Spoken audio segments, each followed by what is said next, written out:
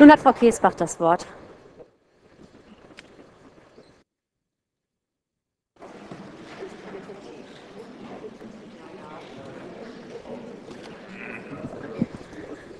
Sehr geehrte Frau Präsidentin, sehr geehrte Damen und Herren, liebe Frau Bekeres, Sie verschließen hier Ihre Augen vor der Realität. Seit über einem halben Jahr werden jetzt von fast allen führenden Sozialdemokraten dieser Stadt mit einem englischen Satz bombardiert, der angeblich Richtschnur des Senatshandelns sei. Pay as you go. Und seit über einem halben Jahr stellen wir fest, dass dieser Spruch nichts als PR ist. In Wahrheit, in Wahrheit heißt ihr Motto Spend as you like. Das gilt auch für den Umgang der SPD mit den Obdachlosen. Da gibt das Bezirksamt Hamburg-Mitte 118.000 Euro aus, um mit Stein und einem Zaun das Problem mit den Obdachlosen unter der Kersten-Mieles-Brücke in den Griff zu bekommen. Alles umsonst. Die Steine haben nur eine Wirkung, sie verschönern den Platz, der Zaun ist ein No-Go und wird wieder abgerissen. Dann wird ein runder Tisch per Ordre der Mufti anberaumt, an dem der Bezirksamtsleiter immerhin noch teilnehmen kann. Das Ergebnis 500.000 Euro für einen Klobau, für Touristen und Obdachlose zusammen, weil angeblich in der Gegend ein hoher Bedarf an Toiletten existiert. Fehleinzeige, der Tourismusverband sagt, es wurde hier noch nie Bedarf angemeldet. Ganz schnell distanziert sich die SPD-Bürgerschaftsfraktion von den 500.000 Euro, spricht von einer Äußerung der Bauabteilung. Das nennt man einen Versuch der Schadensbegrenzung.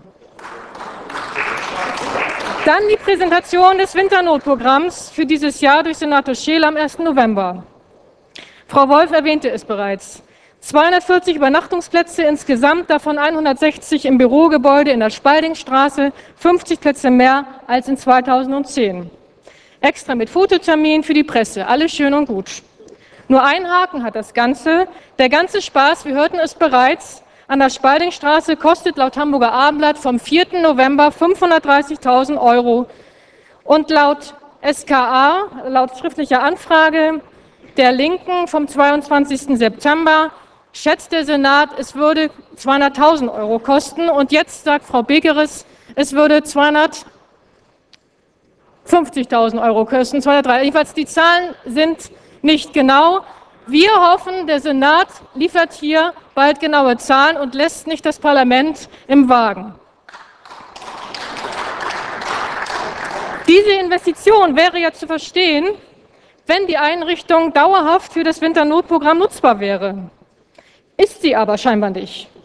Die Liegenschaftsbehörde möchte offenbar das Haus im nächsten Jahr abreißen und die Brachfläche gut verkaufen. Da fragt man sich, drucken Sie das Geld selbst oder haben Sie nur Lust zur Geldverschwendung? Das wahre SPD-Prinzip heißt jedenfalls wieder mal Spend as you like. Frau Bekeres, Sie führten an, der Senat arbeite daran, an der Frage, ob er das Bürogebäude nicht doch nächstes Jahr stehen lassen möchte. Wir hoffen, wenn der Senat hier zur Vernunft kommen wird. Wo ist denn eigentlich das angekündigte Konzept des Senats für die Obdachlosen? Erst hieß es, für den Umgang mit den Obdachlosen unter der Kersten-Mieles-Brücke käme ein durchdachtes Konzept auf den Tisch. Pustekuchen. Mit der abgespeckten Version der Toilette immerhin 24.000 Euro pro Halbjahr kommen ein paar mehr Straßensozialarbeiter zur Brücke. Es gibt eine Hotline für Notfälle und ein MoDest, ein mobiles Deeskalationsteam. Es soll mit den unterschiedlichen Gruppen der Obdachlosen bereits vor dem Entstehen eines sozialen Brennpunkts gesprochen werden. Es soll den Betroffenen und dem institutionellen Unterstützungsangebot in Hamburg vermittelt werden. So weit, so gut. Sag ich doch. Aber was ist mit dem Umgang mit dem Obdachlosen die auf ihren Plätzen beharren. Will der Senat sie grundsätzlich gewähren lassen oder will er sie unter bestimmten Umständen vertreiben? Und welche sind das dann? Bestes Beispiel für, für die momentane Hilflosigkeit, der runde Tisch zum Hauptbahnhof, an dem ebenfalls laut Medienberichten die Sozialbehörde, Innenbehörde, die Polizei und die Deutsche Bahn beteiligt sind. Der runde Tisch sollte die Übergabe des Sondernutzungsrechts für den Hachmannplatz und den Fußgängertunnel zur Mönckebergstraße an die Deutsche Bahn zum 1. November vorbereiten.